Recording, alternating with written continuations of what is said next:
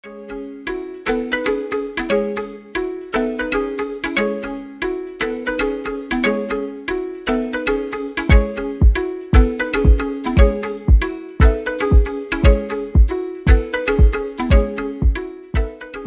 Beck tumbal predator Jamaika, Sevon Walls. PSIS rombak tim jelang putaran kedua BRI Liga 1. PSIS is blue, yo iso yo. Hai guys, kembali lagi bersama channel Abridani di seputar cerita kesebelasan PSIS Semarang. Pastinya seru guys, dan masih lagi seru. Kabar gembira buat pecinta PSIS khususnya Panzer Biru dan Snack bahwa manajemen PSIS akan melakukan perombakan tim jelang putaran kedua BRI Liga 1. Namun, dalam perombakan tim tersebut tentunya pasti ada yang dikorbankan. Rumornya nih adalah gelandang serang asal Brasil berpaspor Kroasia Flavio Beck Jr. Rumor Flavio Beck akan dipinjamkan karena bos PSIS Semarang, Junianto mengungkapkan akan memboyong striker tambahan asing atau lokal pada bursa transfer kedua Liga 1 2021 seusai Laskar Mahisa Jenar menelan pil pahit kalah kontra Persipura Jayapura.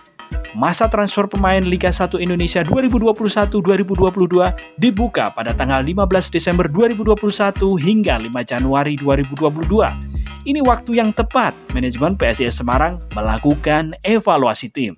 Jadi sudah ada striker juga, pemain asing, setara dengan striker berkelas lainnya, kata Komisaris PSIS Semarang Junianto kepada potensibandung.com di hari Minggu 12 Desember 2021 siang.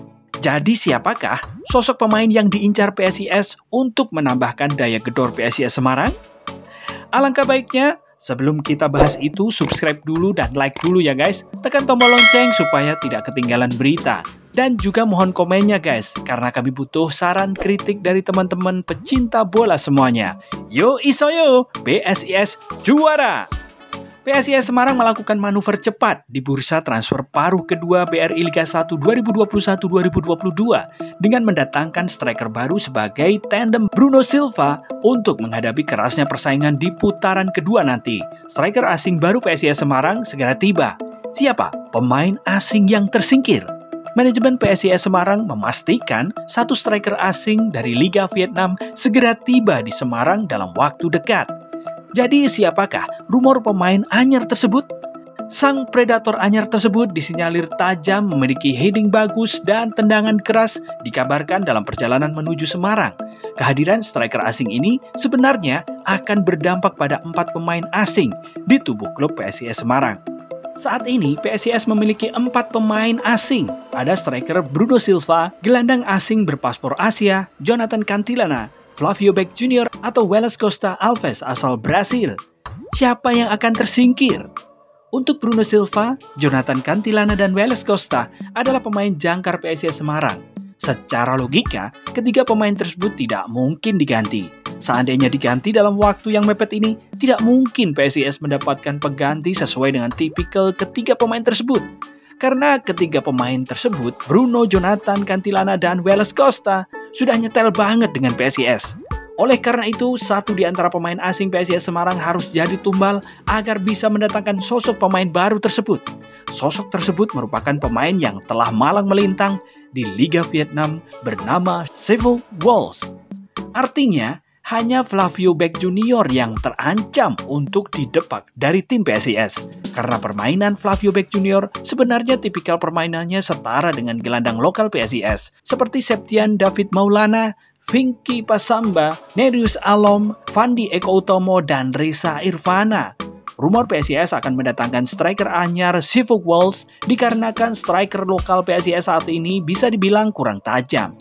Sosok Hari Nur, Komarudin, dan Andreas Ado sering bermain angin-anginan dan hanya Bruno Silva yang sering menjadi on target tim PSIS. Jika benar PSIS menambah striker asing anyar, artinya PSIS akan menggantikan formasi tim untuk menutupi kekurangan dari sektor gelandang.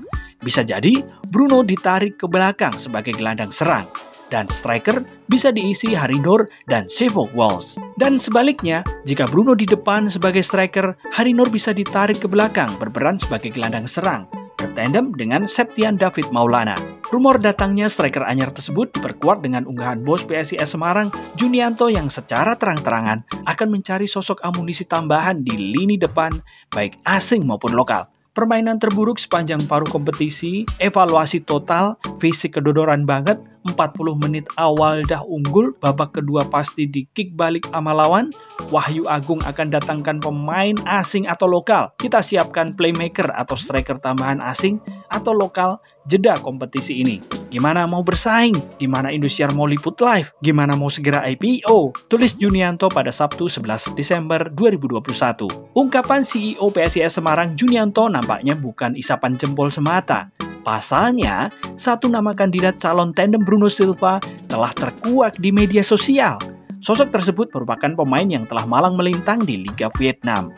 Lantas, Siapa sosok Sivuk Wells? Dikutip dari Transfer Market, Sivuk Wells saat ini berusia 26 tahun, menjadi seorang striker yang dapat dikatakan cukup berbahaya dan produktif. Saat di Hong Lin Hatin FC, harga pasaran Sivok Walls mencapai 3,48 miliar rupiah pada 20 Agustus 2020.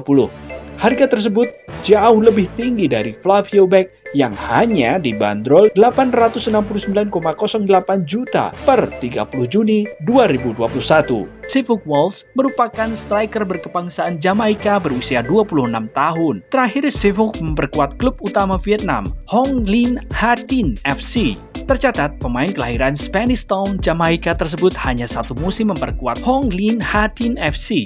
Sivok Walls merupakan bomber yang malang melintang memperkuat klub asal Liga Vietnam. Setidaknya, Sivok Walls tercatat pernah memperkuat tiga klub asal Liga Vietnam.